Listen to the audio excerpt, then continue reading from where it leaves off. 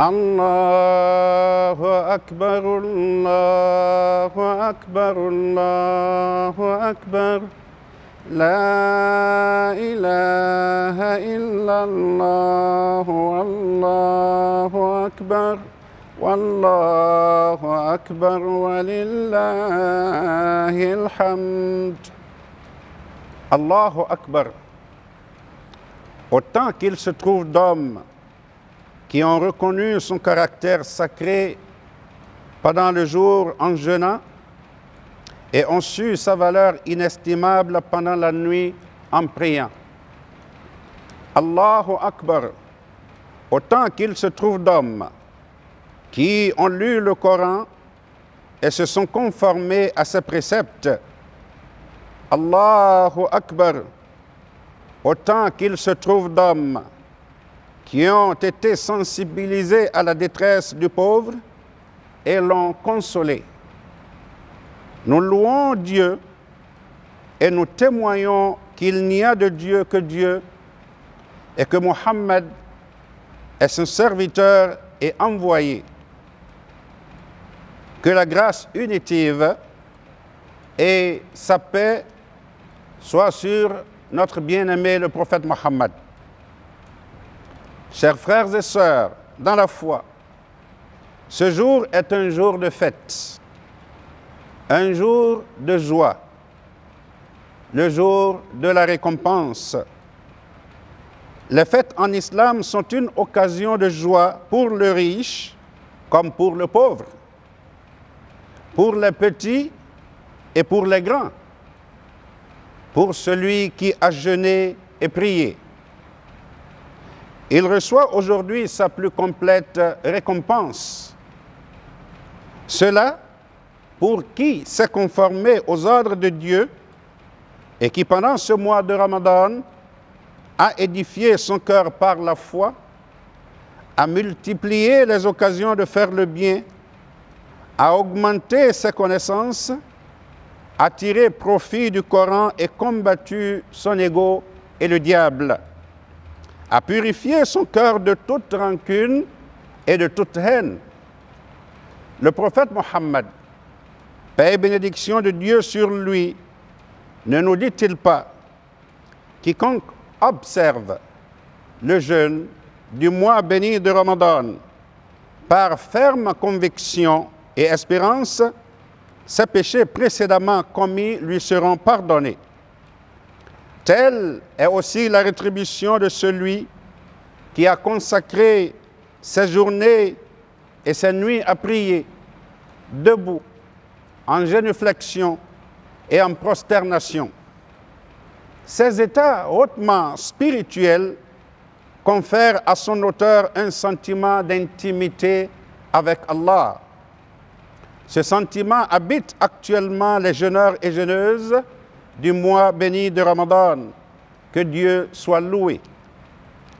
Mais malheureusement, l'être humain pêche par son inconstance, son incapacité à préserver ses acquis dévotionnels et persévérer afin d'atteindre d'autres sphères d'intimité plus ascensionnelles auprès d'Allah subhanahu wa ta'ala.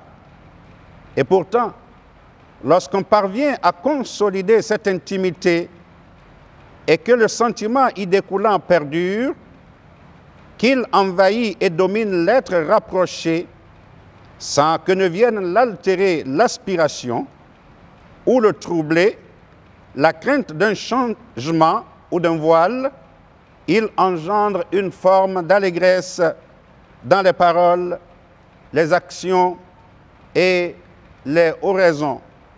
Le monde en est plus besogneux de nos jours que par le passé. L'histoire du grand ascète, Barh al-Aswad, illustre bien ce propos. Allah le Très-Haut avait ordonné à Moïse, que Dieu soit satisfait de lui, de demander à cet homme de prier pour que la pluie se répande sur les enfants d'Israël qui enduraient la sécheresse depuis sept ans. Car Moïse avait d'abord prié lui-même en compagnie de 70 000 hommes.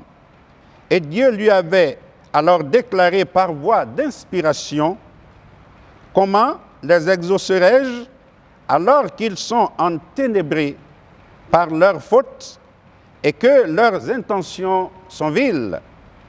Ils m'invoquent sans aucune certitude et se croient à l'abri de ma ruse. Retourne trouver un de mes serviteurs que l'on appelle Bach et demande-lui d'aller prier afin que je l'exauce. Moïse partit donc s'enquérir de l'homme, mais ne le trouva pas. Puis un jour, en chemin, il croisa un esclave noir.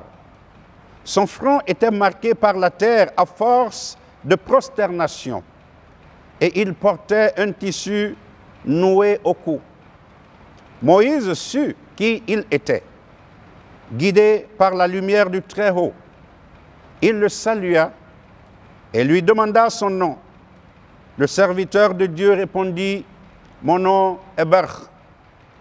C'est toi que nous cherchons depuis un moment, lui dit Moïse. Viens avec nous prier Dieu afin qu'il fasse pleuvoir. Bar s'exécuta et il invoqua donc le Seigneur en ces termes. Voilà qui n'est pas digne de toi. Voilà qui ne sied pas à ta clémence. Quoi? Qu'as-tu l'intention de faire ainsi? Quoi? Tes sources ont-elles tari? Ou as-tu perdu le contrôle de tes vents? N'as-tu plus rien à donner? Ou es-tu trop courroucé contre les pécheurs? N'étais-tu pas enclin à pardonner avant même de créer ces âmes fautives? Tu as créé la miséricorde et tu as commandé la compassion. Quoi? Veux-tu nous montrer que tu peux nous priver? Ou crains-tu de n'avoir plus le temps de nous punir?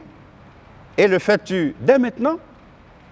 Il ne cessa de s'adresser à Dieu de la sorte jusqu'à ce que les enfants d'Israël sentent les gouttes de pluie les mouiller, jusqu'à ce que le Très-Haut fasse pousser les herbes jusqu'aux genoux en une demi-journée.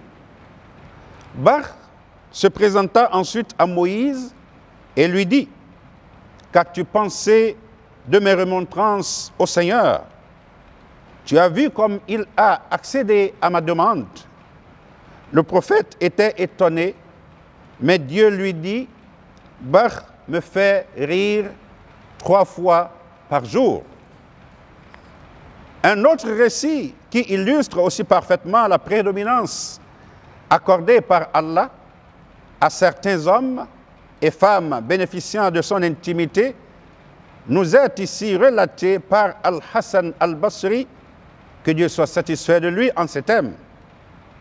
Un incendie avait détruit tout un baraquement à Bassora. Une seule demeure avait été épargnée bien que situé au milieu des autres. Abou Moussa, qui était le gouverneur de la ville, avait été informé de l'incident et avait fait mander le propriétaire de la demeure en question. Il l'avait fait venir. On lui présenta un vieillard. Il lui demanda, vieil homme, comment se fait-il que ta demeure n'est pas brûlée? J'ai conjuré mon Seigneur de ne pas la laisser brûler, répondit-il. Je l'ai prié, supplié avec insistance. Abou Moussa déclara, j'ai entendu l'envoyé de Dieu sur lui la grâce unitive et la paix dire, il est des gens de ma communauté, Irzut, qui ont le poil, les cheveux très fournis et d'aspect désordonné, au visage crasseux et aux vêtements rapiécés, mais bénéficiant de crédit auprès de Dieu. Dès qu'ils le supplient, ils accèdent à leur demande. Ce sont les gens de l'intimité. La possibilité que Dieu agrée d'un serviteur cela même qu'il réprouve chez un autre n'est pas à exclure. C'est une question de rang et de choix divin. Le Coran comporte un grand nombre d'indications de ce fait. Il suffit de prêter attention et d'essayer de comprendre, car assurément, l'ensemble des récits coraniques dispense des enseignements aux gens lucides et clairvoyants, pour peu qu'ils les méditent. Il ne s'agit que de dénomination pour ceux qui regardent en profondeur. Autrement dit, deux réalités peuvent porter le même nom sans pour autant avoir de semblables conséquences. Le premier de ces récits est celui d'Adam, est celui d'Adam et du diable. Vous remarquerez que l'on donne le nom de transgression et de désobéissance à leurs actions respectives. Mais il se distingue pourtant du fait que l'un fut élu et préservé et l'autre non. Le diable fut privé de la miséricorde et il fut écarté. Quant à Adam, Dieu soit satisfait de lui, le Coran dit à son sujet au 20e chapitre Taha, au 121e verset, je cite, Adam désobéit à son Seigneur et s'égara. Par la suite, son Seigneur l'élut, il lui accorda son pardon et le guida. Fin de citation. Une autre illustration coranique nous enseigne que Dieu a reproché également à son prophète, paix et bénédiction de Dieu sur lui, de se détourner d'un serviteur et de se tourner vers un autre alors qu'ils étaient égaux sous le rapport de la servitude. La cause, frères et sœurs dans la foi, c'est que leurs états n'étaient pas semblables. Il dit en ce sens au 80e chapitre du Coran intitulé Abassa, il s'est renfroyé, du verset 8 au verset 10. Quant à celui qui vient à toi en hâte, poussé par la crainte, tu ne t'en soucies pas. Et il dit dans les versets 5 et 6 du même chapitre, Quant à celui qui est plein de suffisance, tu lui portes une grande attention. Il en va de même de l'allégresse et de la désinvolture, frères et sœurs dans la foi. Elles sont tolérables de la part de certains serviteurs à l'exclusion d'autres. Cette décontraction résultant de son rapprochement avec Dieu se manifeste par exemple dans la parole de Moïse, adressée à son Seigneur, lorsqu'il lui intima l'ordre de se rendre auprès de Pharaon. Moïse répondit ainsi, Je suis coupable d'une faute à leurs yeux.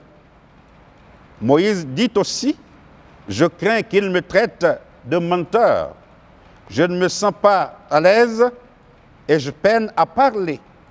Ou encore, Moïse et Haroun dirent, nous craignons qu'il ne s'emporte, que Pharaon ne s'emporte ou ne s'insurge contre nous. De tels propos, venant de la part d'un autre que Moïse, tiendrait de l'inconvénance, parce que l'homme maintenu dans la station d'intimité dont il est question est traité avec mansuétude et jouit d'une forme d'impunité. Certaines de ces différences de traitement sont dues aux états et aux stations dissemblables des individus.